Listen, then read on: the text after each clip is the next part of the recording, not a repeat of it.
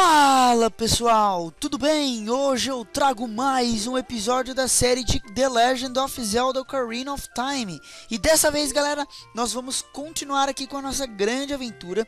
No episódio anterior, nós entramos aí na primeira dungeon do game Que é a Grande Árvore Deco.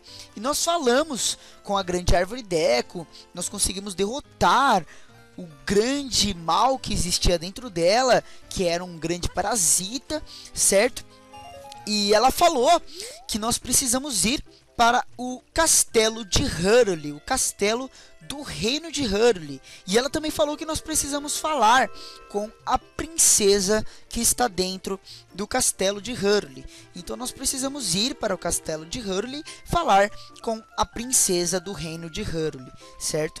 E a grande árvore Deco falou que o nosso destino é salvar o reino de Hurley, porque um grande mal está surgindo, certo?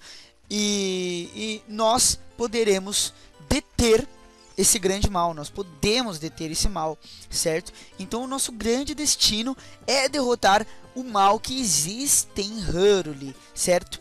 Então é isso aí, galera. Vamos começar aqui com o terceiro episódio da série, certo, galera? Então, nesse terceiro episódio, nós vamos para o castelo do Reino de Hurley. E para ir para o castelo do Reino de Hurley, nós precisamos sair desta floresta dos coquires, certo? Então, vamos lá, galera, vamos sair aqui dessa floresta dos coquires, certo? E vamos nos aventurar no Reino de Hurley, certo? Então, vamos lá, vamos sair aqui do, do, do do reino dos coquires, da floresta, certo? E agora nós vamos falar aí com a Sária, que é a melhor amiga do Link, né? Oh, você está indo? Aí está a Sária. Eu sabia que você deixaria a floresta algum dia, Link. Porque você é diferente de mim e de meus amigos. Mas tudo bem, pois seremos amigos para sempre, não é? Eu quero que leve esta ocarina. Por favor, cuide bem dela. Beleza, galera! A Sária deu uma ocarina pro Link. Para quem não sabe, ocarina é um instrumento musical, uma flauta, que serve para tocar músicas, certo? Mas no The Legend of Zelda Ocarina of Time, você utiliza a ocarina para tocar músicas mágicas. Durante o jogo você vai aprender algumas músicas e essas músicas fazem coisas mágicas, como fazer você teletransportar de um lugar para o outro.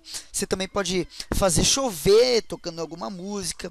Você pode fazer o tempo é, e mais rápido, sabe? Passar o tempo mais rápido.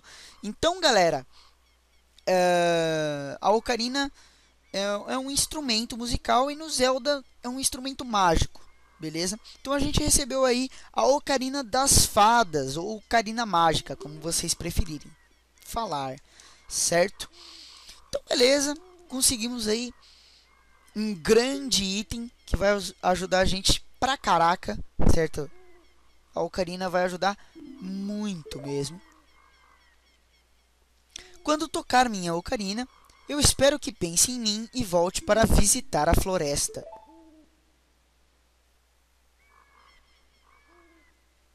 Então, beleza. O Link, muito envergonhado, dá dois passos para trás e sai correndo. Essa parte é muito legal, cara.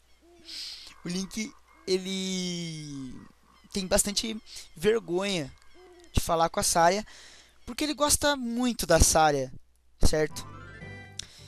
Bom, agora, galera, nós finalmente saímos da floresta dos coquires e agora nós estamos em Hurley Field, ou Campos de Hurley. Então, nós estamos agora nos Campos de Hurley. Os Campos de Hurley é uma área, é uma grande área onde tem vários locais para ir, várias cidades para você ir. Então, os Campos de Hurley é como se fosse uma área que liga uma cidade até outra, certo? Bom, galera, agora nós vamos falar com a coruja. Essa coruja vai falar algumas dicas pra gente, né? Parece que finalmente chegou a hora de você iniciar sua aventura. Você encontrará muito sofrimento adiante. Este é o seu destino. Não desanime, mesmo durante os momentos mais difíceis. Vá em frente neste caminho e você verá o castelo de Hyrule. Lá encontrará uma princesa, que é a princesa Zelda. Se ficar perdido e não souber para onde ir, olhe no mapa. As áreas que você explorou são mostradas no mapa. Aperte Start, blá blá blá blá blá blá. Eu não quero ler essas coisas de Start e blá. Só quero ler o que é interessante. Você entendeu tudo? Sim. Tudo bem então, vejo você por aí. Beleza, galera. Falamos aí com a grande coruja, certo? Ela deu uma dica muito bacana, galera. Então, nós vamos seguir em frente, como a coruja disse, e logo depois nós vamos encontrar aí o castelo de Hyrule. Bom, pessoal, uma coisa bem interessante do The Legend of Zelda Ocarina of Time é que quando você não está numa cidade, certo? O tempo passa normalmente. Eu vou explicar melhor. Quando você está em uma cidade no The Legend of Zelda Ocarina of Time, o tempo não passa. Quando você entrar numa cidade de dia, a cidade vai estar tá de dia para sempre. Se você entrar numa cidade de noite, a cidade vai estar tá de noite para sempre. Por quê? Porque as cidades elas não passam o tempo, certo? Agora, em outras áreas, em áreas que não são cidades, o tempo passa normalmente, como os campos de Hurley. Então, como vocês podem ver, o tempo passou e agora está noite nos campos de Hurley. Por quê? Porque os campos de Hurley não não são uma cidade, são campos, certo? E quando fica noite nos campos de Hurley, aparecem monstros, ok? Então, era, era só isso que eu queria explicar, tá, galera? Bom, então chegamos aqui no castelo de Hurley. Como vocês podem ver, nós estamos bem perto da fortaleza, certo? Da grande fortaleza do castelo, certo? A gente seguiu a dica do, da, da coruja e, e, e deu certo, né? Seguimos em frente e aqui está o castelo de Hurley, né? A grande fortaleza de Hurley. Uma coisa bem interessante, galera, é que quando tá noite, os portões do castelo se fecham. Por quê? Porque existem monstros à noite. Então, como existem habitantes dentro do castelo, os portões se fecham para proteger os habitantes e a princesa Zelda e o rei, tudo mais, certo? Mesmo não aparecendo o rei, existe um rei de Hurley, tá? Matar aqui esses esqueletos que aparecem à noite que são os monstros que aparecem à noite, eles dão alguns rupees e isso vai ser muito bom pra gente, certo? Beleza, galera, amanheceu, ficou dia, então os portões do castelo abriram e agora nós podemos entrar no castelo, certo? Bom, galera, eu vou tentar subir aqui as correntes do portão, por quê? Porque em uma dessas correntes existe um rupi vermelho. E rupi vermelho é muito valioso e a gente precisa de rupees, a gente precisa de dinheiro para comprar outros itens, certo? Então a gente sobe aqui, pula, aê, achei. Então a gente pegou um rupi vermelho que vale por 20 rupees. E agora no total temos 62 rupees, cara. Tem muito rupi. Bom, galera, deixa eu sair aqui da, da sala só para apresentar para vocês. Bom, então aqui estamos no Castelo da Princesa Zelda. Finalmente entramos no Castelo da Princesa Zelda. E agora, galera, a gente vai entrar aqui nessa casinha, nesse depósito. Por quê, galera? Porque aqui tem bastante rupi. Mas aonde estão os rupis? Dentro desses vasos e dentro dessas caixas. Essa cena é uma cena muito famosa, é uma cena super famosa na, na franquia The Legend of Zelda e todos os fãs de, de The Legend of Zelda adoram essa cena. Como vocês podem ver, tem uma sala, um depósito cheio de caixa e cheios de vasos. E tem um guarda que está protegendo esses vasos. Dentro desses vasos contém rupees. E de repente entra um garoto procurando rupees. Esse garoto se chama Link. Aí ele vê um monte de vaso e começa a quebrar os vasos para pegar esses rupees. E o guarda não faz nada. Essa cena é muito famosa. Vários gringos já fizeram vídeos em live action, sabe? Em live action fizeram edição suprema só pra para mostrar o quão engraçado é essa cena. Imagina um guarda real, um guarda muito famoso por várias coisas que ele fez, por várias aventuras que ele que ele que ele fez, sabe? Várias aventuras que o que o guerreiro é, aconteceu, várias aventuras e é um, um é um guarda que que já lutou com vários monstros. Aí ele ganha uma vamos dizer uma missão proteger vasos com rupees em um depósito. E ele tá lá, né? Tá entediado por causa que não, não, acontece nada. Tipo, ele só proteger, só protege, só protege, certo? Aí entra o garotinho dentro dentro da sala, certo? Aí ele vê o garotinho, caraca, é um garotinho, blá, blá, blá. Aí do nada o garotinho começa a de destruir os vasos. Aí o guarda não faz nada. Tipo, é, é, sei lá, né? Mas é, é uma cena famosa. Enfim, galera. Aqui dentro desse, dessa caixa existe uma Gold Scutula. Vou pegar ela aqui pra, pra gente fazer meio que 100% o game, certo? Vamos sair aqui do depósito super bacana. E agora, galera, vamos para o centro do castelo de Hurley. Bom, galera, estamos aqui no centro do castelo de Hurley. Esse centro se chama Market ou Mercado, como vocês preferirem falar. Esse mercado existe várias lojas, várias pessoas felizes, existe um templo, várias pessoas para conversar, várias missões para fazer, enfim.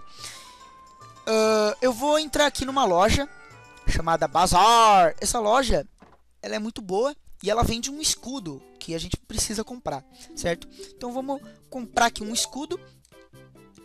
O escudo Hylian é um escudo pesado com como os que os cavaleiros Hylians usam. Eles podem suportar ataques de chamas.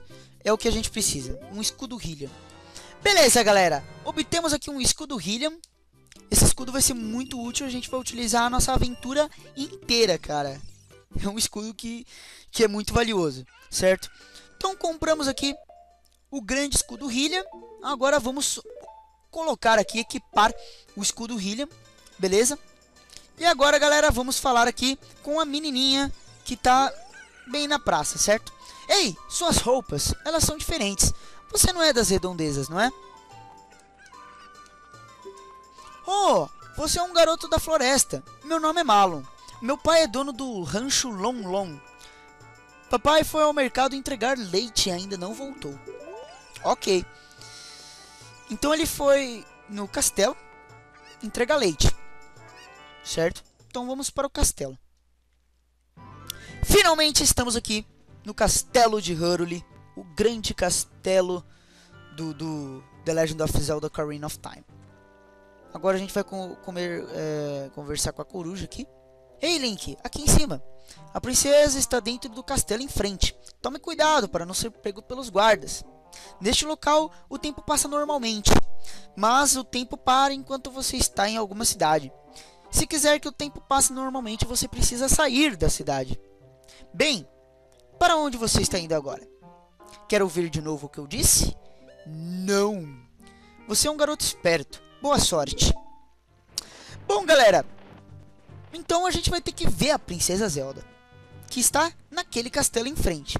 Mas para falar com a Princesa Zelda, a gente vai precisar entrar no castelo. Mas como que a gente vai entrar se os guardas estão em prontidão para proteger a Princesa Zelda? Bom, a gente vai tentar entrar no castelo da Princesa Zelda no silêncio, silenciosamente, certo? Então o que, que a gente vai ter que fazer? O que, que a gente vai fazer, certo? A gente vai fazer o seguinte. Já vou colocar aqui a ocarina em prontidão, certo?